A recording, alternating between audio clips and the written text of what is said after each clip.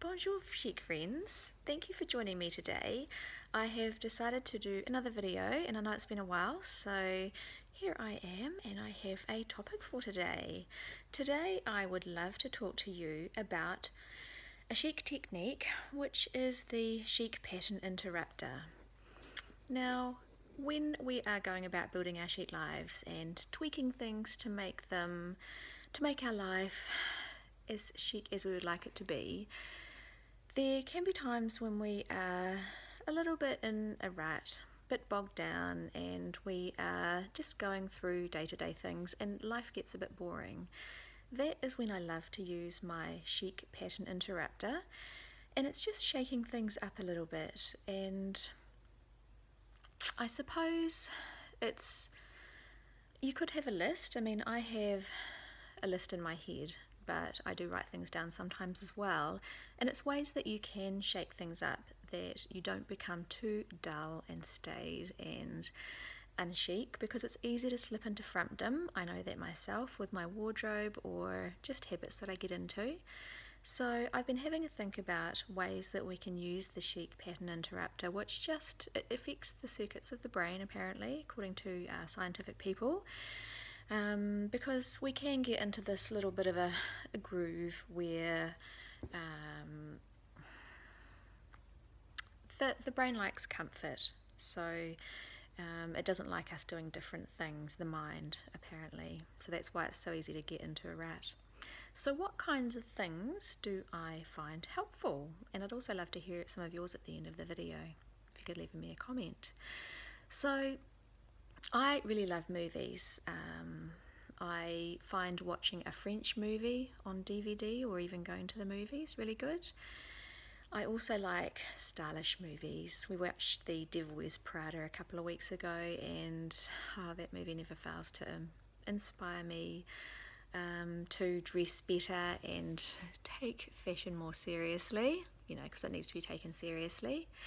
Um, other things I like to do are dress up and um, maybe just dress up a little bit and go into the city. I like to walk around the city, pretend I live somewhere bigger than I do, and going to the city always makes me feel like that. And I don't even have to spend any or much money at all. You might just buy a drink or you might not even buy anything. It's just nice to absorb the energy of being in the city. And if you don't live somewhere big, maybe you might go to a stylish part of town um, I love doing that too, going to suburbs that are really quite chichi and um, soaking up that atmosphere as well. Um, another chic pattern interrupter is to do the exact opposite of what you normally do. So, if I normally make my lunch every day, it feels really luxurious to go to a cafe and buy something ready made. Um, because I am quite thrifty and quite frugal, it generally involves doing something uh, sorry, buying something that I would normally do for myself. Uh, but if you're the kind of person that might eat out all the time, you might decide to get some ingredients and cook dinner at home.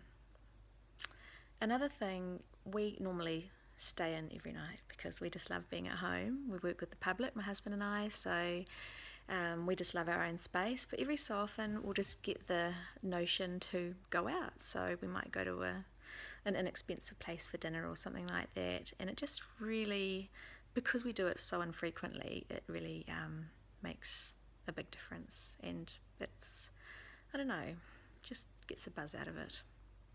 What else have I got on my list? Um, oh, that's a fun one. I have a wish list of things that I want to do in the future, and it's little things and big things. It might be holidays, it might be projects. Uh, so, one thing I like to do is pick something off my wish list and start making a plan. And even if it's not going to happen for a while or um, is quite ambitious, it's still fun to put plans into place because you never know what might happen. And uh, you might get an idea that you can move something forward uh, quicker than you thought you might have, or it's not going to cost as much as you thought it was as well. Um, so, going through a wish list of fun projects is a neat thing to do to pick one out of that. Here, that's another one too. I um, sometimes leave it quite a long time between my hair appointments because it just grows longer and you don't need to cut it as much as when you have short hair. So um, when I realise it's been maybe a couple of months overdue, I just book a hair appointment and that really. hair appointments make you feel so good.